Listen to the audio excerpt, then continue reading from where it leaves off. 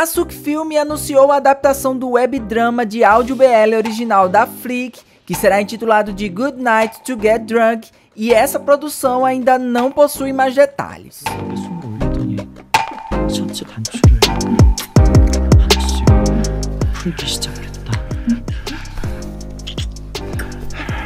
A produção ela vai acompanhar a história do Jun e do Min, que eles cresceram juntos, porém acabaram se afastando. Após muitos anos, o Jun ele acaba se surpreendendo ao encontrar o Min em sua casa, desencadeando aí uma série de reviravoltas emocionantes. Se você quer saber sobre mais notícias do universo BL, é só você acessar o nosso site aigodoramas.com.br.